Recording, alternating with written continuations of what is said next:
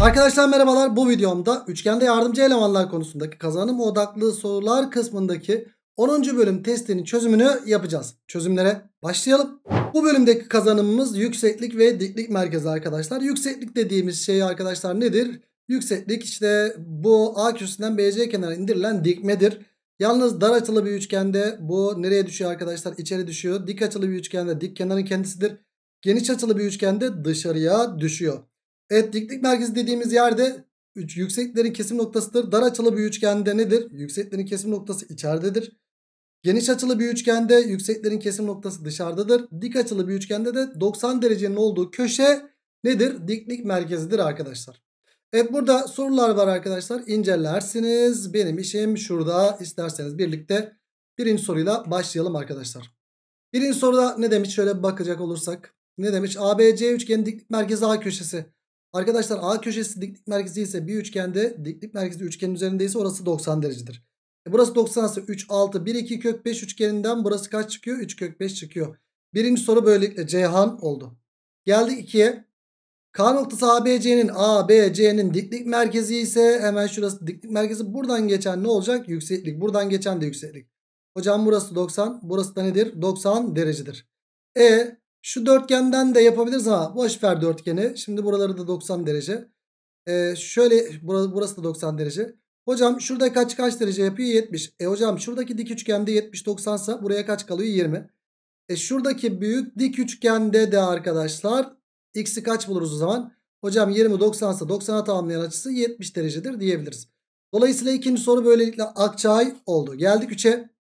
P ve R ait oldukları üçgenlerin diklik merkezi. Madem diklik merkezi buradan geçen devamın olmak zorunda yükseklik. Devamın olmak zorunda yükseklik olmak zorunda.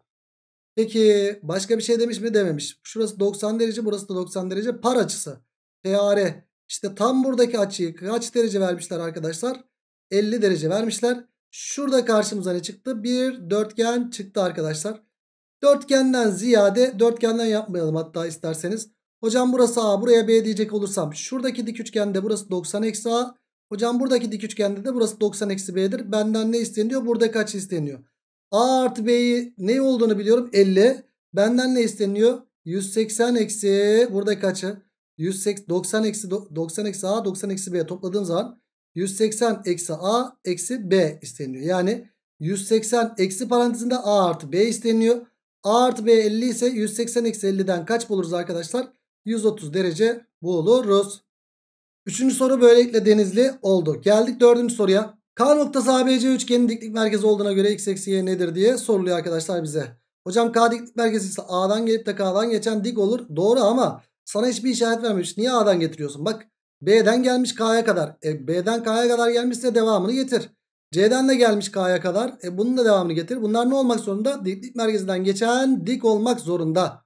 E hocam şuradaki üçgende bir ne var? Sayılar buraya. Burada ya. Hemen buraya yoğunlaştım. Buradaki üçgende hocam 45 90 ise bu açı 45 derece yapar. Yani y artı 25 45 derece ise y kaç çıkar arkadaşlar? 20 derece çıkar. E o zaman y yerine 20 yazdığımızda şuradaki dik üçgende arkadaşlar 20 90 ise burası kaç derece yapar? 70 derece yapar. Şuraya 70 yazayım. Yani burada da x artı 45 de 70 olduğundan x'i kaç bulursun? 25 derece bulursun. Senden ne isteniyor? X eksi y. Yani 25 eksi 20 isteniyor. Cevabımız böylelikle 5 çıkar arkadaşlar. Dördüncü soru Balıkesir oldu.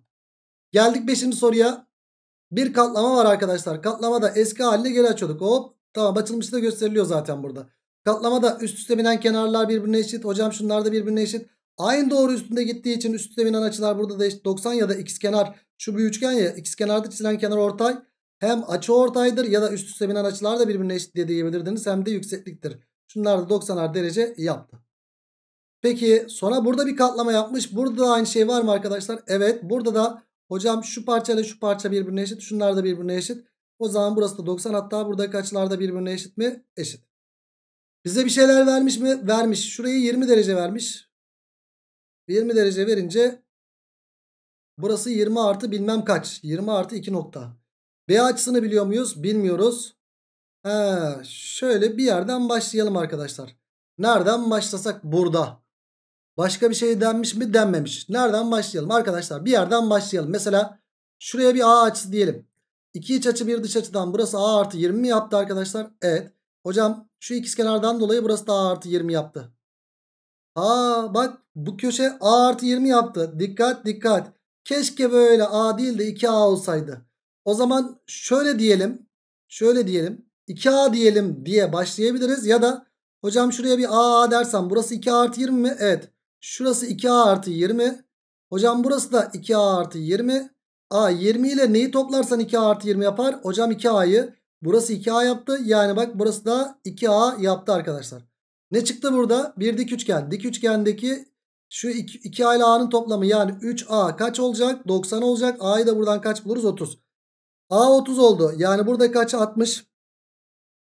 Bizden ne isteniyor? A, C, B açısı isteniyor. Bulmuşuz zaten cevabı arkadaşlar. A isteniyor bizden. Pardon 2A isteniyor. Cevabımız böylelikle Edremit çıktı. Ve bu böylelikle bu testi de bitirdik. Yani ne testi arkadaşlar bu? 10. bölüm kazanım odaklı testi de bitirmiş bulunuyoruz. O zaman ne diyoruz? Bir sonraki videoda 11. bölümde görüşmek dileğiyle. Kendinize iyi bakın. Hoşçakalın.